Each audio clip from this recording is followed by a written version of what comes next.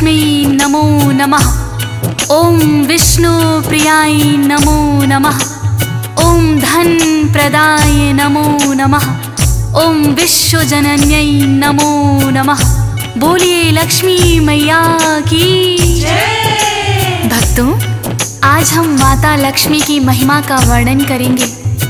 माता लक्ष्मी एक ऐसी देवी हैं कि जो भी भक्त सच्ची श्रद्धा से, सच्ची भक्ति से इनका ध्यान लगाता है। उनके घर में कभी भी धन धान्य की कमी नहीं होने देती हैं। भक्तों, माता लक्ष्मी की अनेकों ही रोचक कहानियाँ हैं। उनमें से कुछ कथाओं का वर्णन हम यहाँ करेंगे। माता लक्ष्मी को धन धान्य की देवी माना जाता है। हिंदू धर्म में माता लक्ष्मी की पूजा का विशेष प्रावधान है। अक्षय तृतीया व दीपावली के दिन लक्ष्मी एवं गणेश जी का पूजन किया जाता है भक्तों। माता लक्ष्मी जिन भक्तों पर कृपा करती हैं, उनके घर में धन धान्य की कोई भी कमी नहीं रहती है। तो आइए भक्तों, सुनते हैं माता लक्ष्मी के कुछ चमत्कारों की ये रोचक कहानियाँ। श्री चरणों में करके वंदन करते हैं हम महिमा वर्णन माता लक्ष्मी कृपा करना। जिन भक्तों पर हो तेरी कृपा टिक नहीं सकती वहाँ दरिद्रता जो सच्ची हो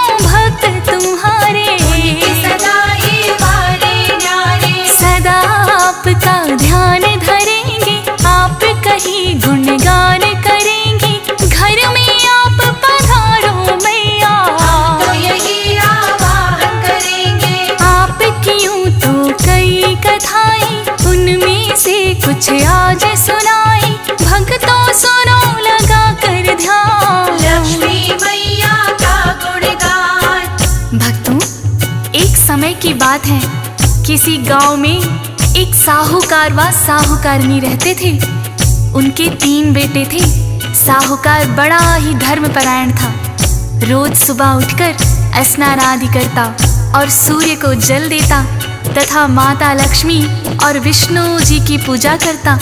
ऐसा कहते हैं कि माँ लक्ष्मी की पूजा के साथ साथ यदि हम नारायण को भी पूछते हैं, उनका ध्यान लगाते हैं तो उससे घर में सुख, शांति, समृद्धि आती है। भक्तों, साहूकार का गुजर बसर बड़े ही आराम से हो रहा था। साहूकार को हमेशा साफ़ सफ़ाई पसंद थी भक्तों। उसके ही विपरीत साहूकारनी बड़ी ही आलसी थी। वो ना तो सुबह जल्दी उठती, ना ही साफ़ सफ़ाई पर ध्यान देती। घर में झाड़ू पोछा तक नहीं करती थी भक्तों। साहूकार उसे समझाता कि घर में साफ़ सफ़ाई रखनी चाहिए। किंतु साहूकारनी पर उसकी बातों का कोई असर ना होता था भक्तों। साहूकार की जो है पत्नी वो तो आलसी जाने कितनी। सो करना कभी उठी सवेरे। में फेरे। बड़ी समझाई रखनी चाहिए साफ़ सफ़ाई। जिनका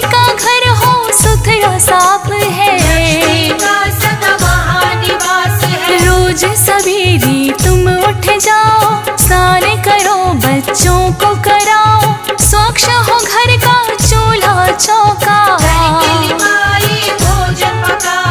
काम पे वो चला जाए, कहकर टाल दे कोई बहाना बना कर। कहती, मेरी नींद न खुलती।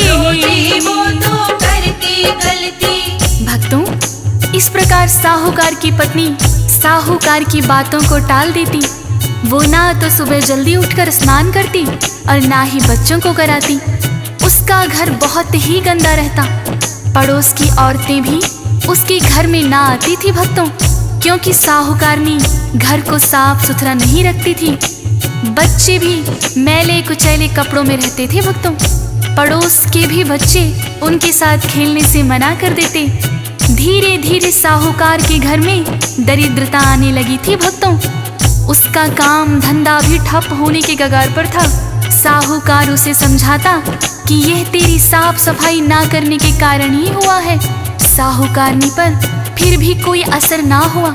फिर साहूकार ने माँ लक्ष्मी से विनती की कि, हे माता, आप ही इसे सद्बुद्धि दें। और एक दिन भक्तों, चमत्कार ही हो गया। साहूकारनी बाज़ार से कुछ सामान खरीद कर ला रही थी भक्तों। आते आते उसे अंधेरा हो गया। किंतु उसने हाथ में लालटेन दे रखी थी। रास्ते में उसे एक औरत मिली और कहने लगी, सुन लो बहना, मैं हूँ अकेली। मुझको समझो अपनी सहेली। अपनी लालटेन मुझे दिखाओ चलते हुआ अंधेरा। ना कोई संगी साथी मेरा। मुझे रास्ता पार कराओ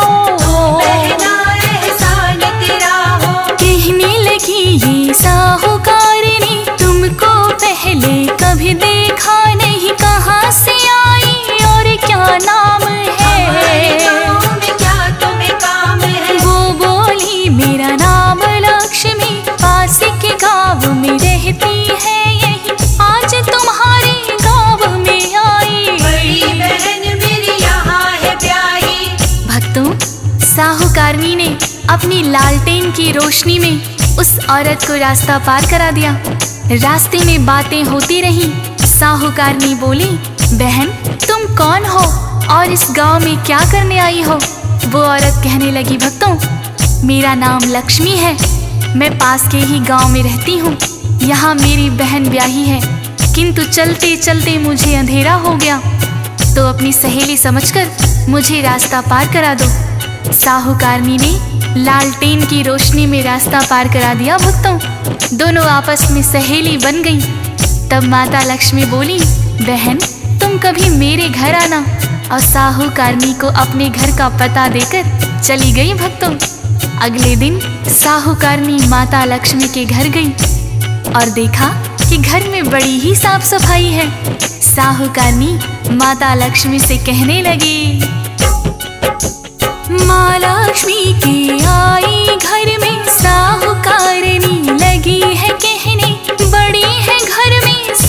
सफ़ाई।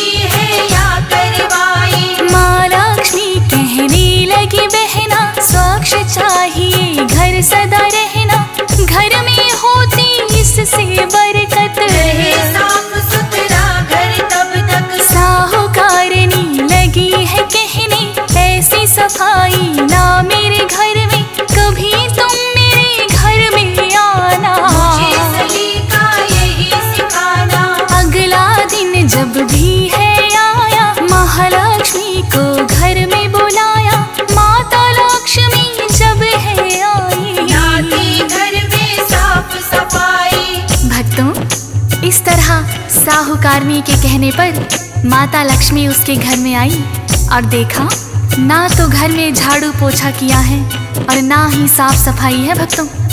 बच्चों ने भी मैले कुचले कपड़े पहन रखे हैं। माता लक्ष्मी कहने लगी, बहना, चलो, तुम घर की साफ़ सफ़ाई करो। मैं तुम्हें बताती हूँ कि किस तरह से घर साफ़ रखा जाता है।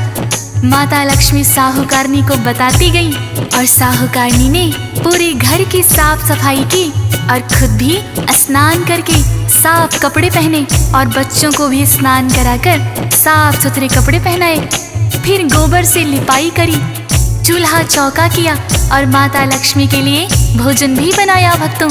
इस तरह माता लक्ष्मी उसके घर रोज आने लगी थी भक्तों। साहूकार देखकर बड़ा ही प्रसन्न हुआ। और उसका कारोबार भी चल निकला।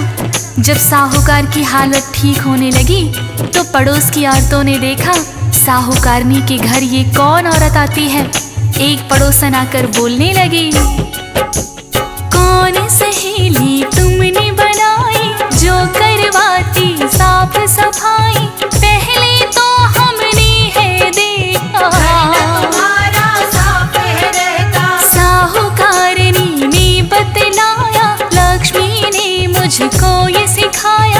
उससे सीखा मैंने सलीका साफ़ सफ़ाई का ये तरीका।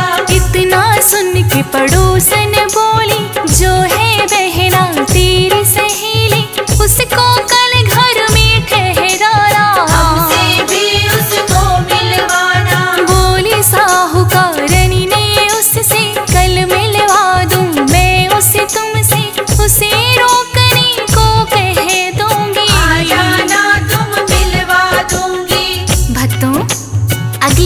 माता लक्ष्मी साहूकारनी के घर आई तो साहूकारनी बोली, बहन लक्ष्मी, तुम आज मेरे घर रुक जाओ। माता लक्ष्मी कहने लगी, मैं तो राजा महाराजा के घर भी नहीं रुकती, फिर तुम्हारे घर कैसे रुक जाऊँ? पर साहूकारनी उसे हाथ पकड़कर बलपूर्वक चौकी पर बिठा दिया। तब माता लक्ष्मी ने साक्षात दर्शन दिए भक्तों। उस दिन के बाद से साहूकार के घर में धन धान्य की कोई कमी ना रही। और साहूकारनी भी माता लक्ष्मी के भक्त बन गई भक्तों। और घर में रोज साफ़ सफ़ाई करके माता लक्ष्मी का पूजन करने लगी। इसी तरह भक्तों, माता लक्ष्मी के चमत्कार की एक और कथा है। आइए श्रवण करते हैं। माँ लक्ष्मी की कथा है भक्तों बड़ी पुरानी। किसी गाँव में एक मंदिर था। सरिता नामक एक थी कन्या। काम है जिसका फूल बेचना। माँ लक्ष्मी मंदिर के बाहर। अपनी दुकान लगाकर। माता पिता है ना सरिता के।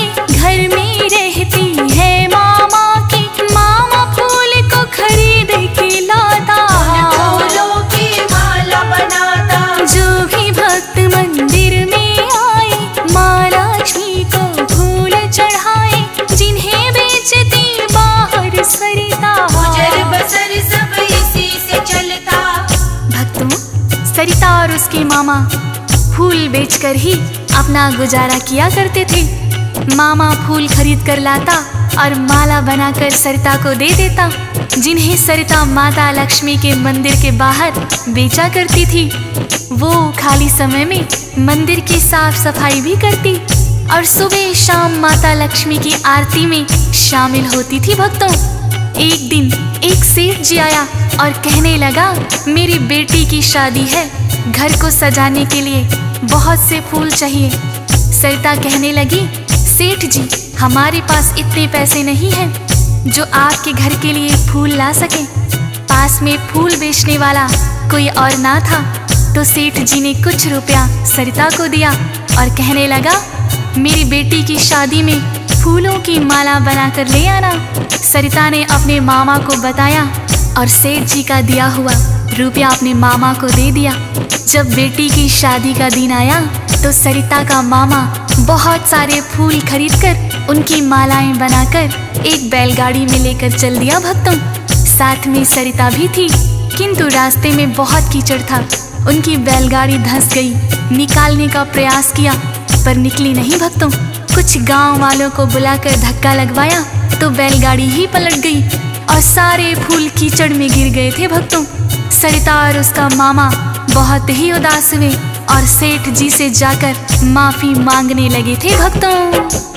कहने लगी हम फूल तो लाए सबकी बना दी थी मालाएँ। किंतु गिर गई सब कीचड़ में। क्रोध बढ़ा उस सेठ को आया बोला मेरा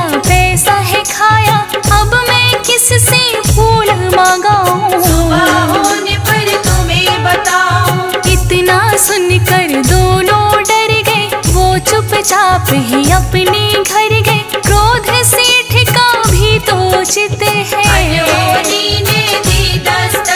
सुबह सरिता जब मंदिर आई अपनी दुकान है बिखरी पाई जिसे सेठ ने तोड़वा दिया है।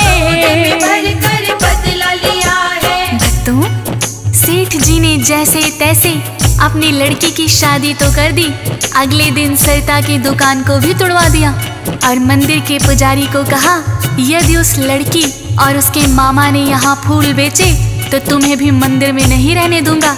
जैसे ही सरिता दुकान पर आई भक्तों तो उसने देखा कि दुकान तो टूटी ही पड़ी है। वो समझ गई, सेठ ने ही तोड़वाई होगी। वो परेशान होकर माँ लक्ष्मी के मंदिर में गई और माँ लक्ष्मी से माफ़ी मांगने लगी। कहने लगी, हे माँ लक्ष्मी इसमें मेरा कोई कसूर नहीं है। हम फूल तो खरीद कर लाए थे, किंतु सब कीचड़ में गिर गए। अब सेठ जी ने मेरी दुकान भी तोड़वा दी। हमारा पेट कैसे पलेगा? गुजारा कैसे होगा? इतनी देर में पुजारी आकर बोला, कि तुम आज के बाद मंदिर में मत आना, नहीं तो सेठ जी मुझे भी नहीं रहने देंगे। इतना सुनकर सरिता बहुत मायूस हो गई थी भक्तों। और अपने मामा के साथ घर आ गई। अगले दिन जब पुजारी मंदिर गया तो मंदिर के पट भी नहीं खुले। पुजारी ने गाँव वालों को बुलवाकर पट खोलने की कोशिश की, किंतु पट नहीं खुली। थक हार कर सब वापस लौट गए थे भक्तों। ऐसे तीन दिन बीत गए हैं, मंदिर के पट नहीं खुले हैं। पुजारी तो हो बड़ा परेशान है। सपना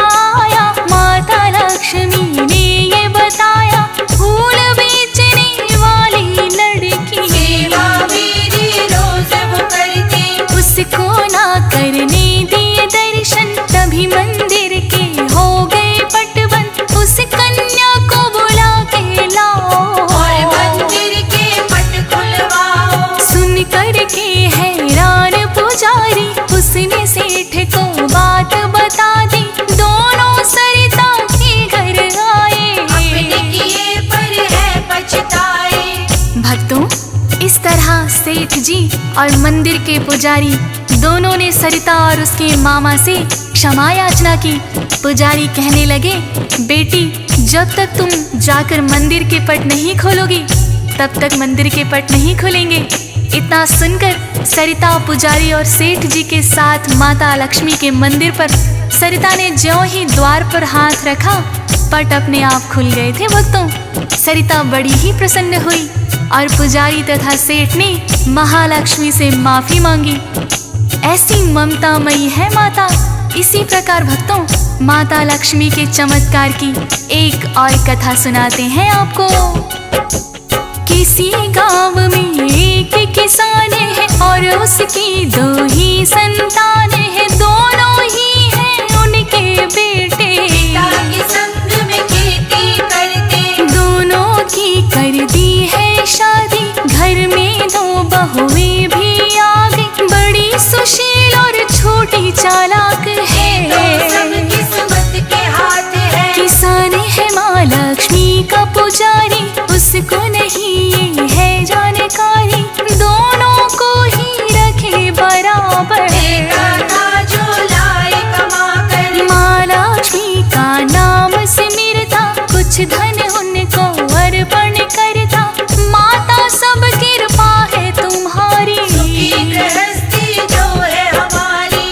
भक्तों, इस प्रकार किसान अपने बेटों के साथ मिलकर खेती करता।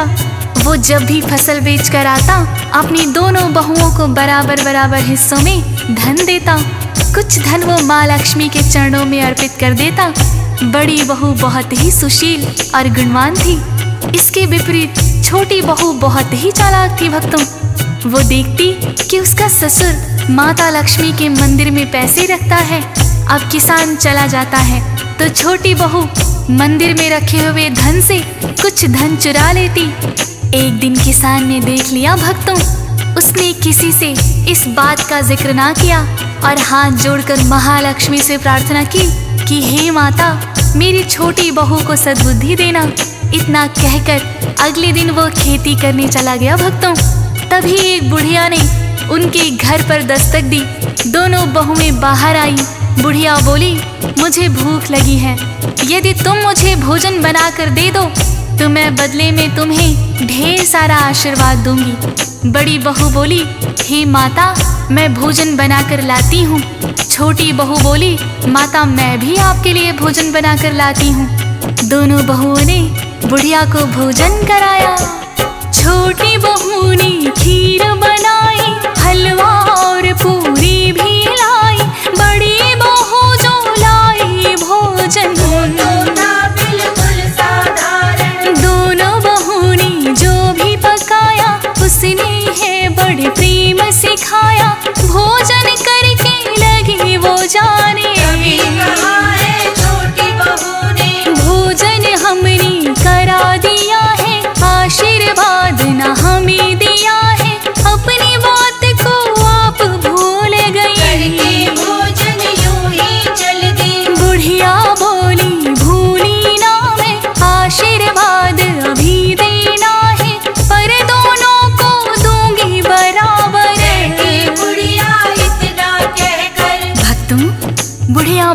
के जाने लगी।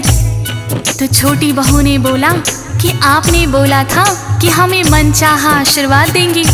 तब बुढ़िया बोली हाँ मुझे याद है।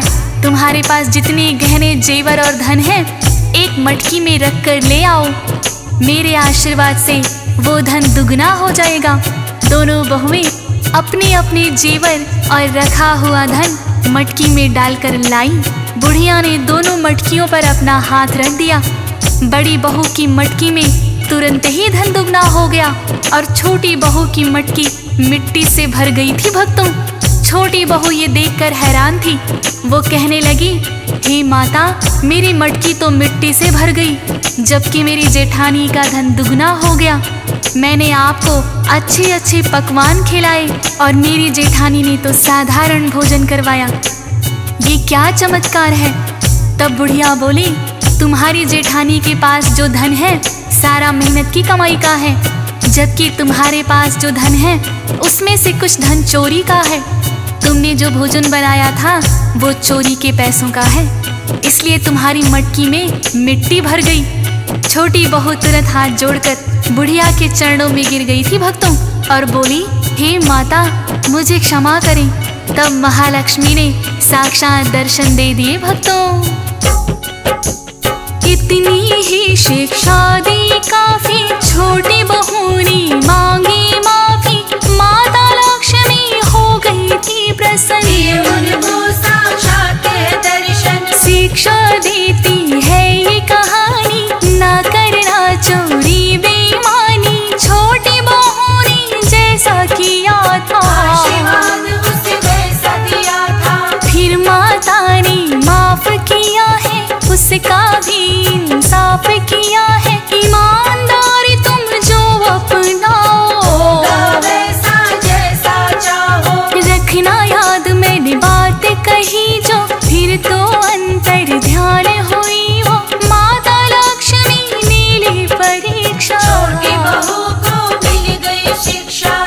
भक्तों, इस प्रकार से किसान की बात माता लक्ष्मी ने सुन ली और बुढ़िया के रूप में आकर उसकी छोटी बहू को शिक्षा भी दे दी।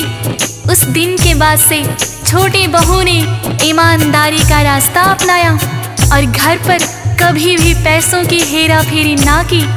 वो भी अपने ससुर और जेठानी की तरह माता लक्ष्मी की भक्त बन गई भक्तों। बोलिए, लक्ष्मी माता की।